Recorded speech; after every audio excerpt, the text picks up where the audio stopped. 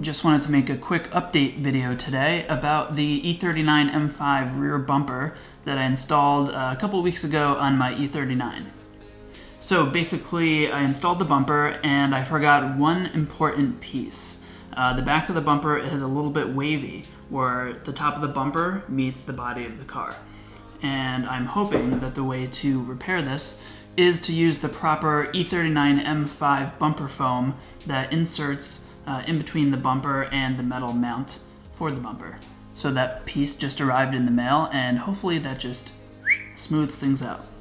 So I ordered the factory M5 rear bumper foam and I'm gonna install it into the bumper and hopefully that will just sort of eliminate all those waves in the back of the aftermarket rear bumper cover.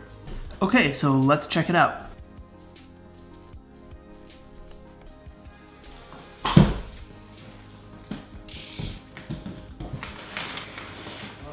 What, that's it? This thing weighs like two ounces. So it's kind of ridiculous. I paid like $50 for this thing. Um, it is a factory piece. It was made in Germany, but it's kind of like made out of the material of like styrofoam coffee cups.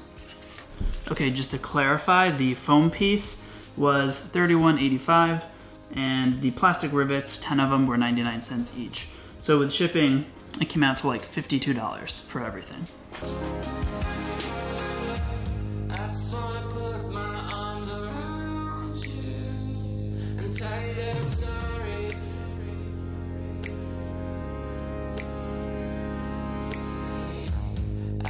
I could have been there for you.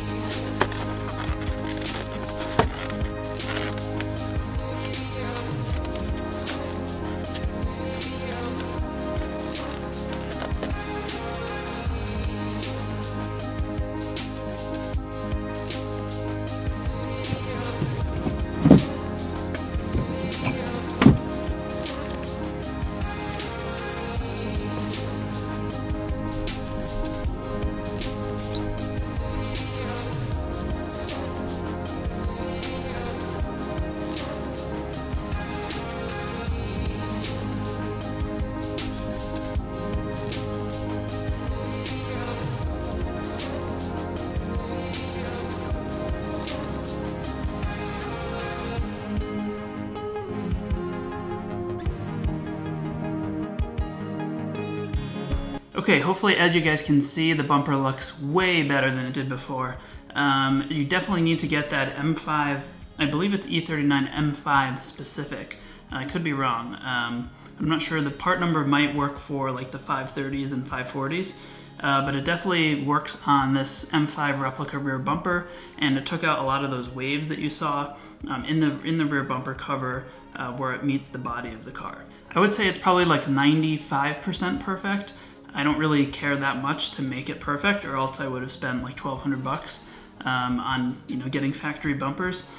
But um, I think this will do the job. The car looks great and um, I might take a heat gun later and sort of you know massage out any remaining uh, sort of waves that may be in the bumper cover.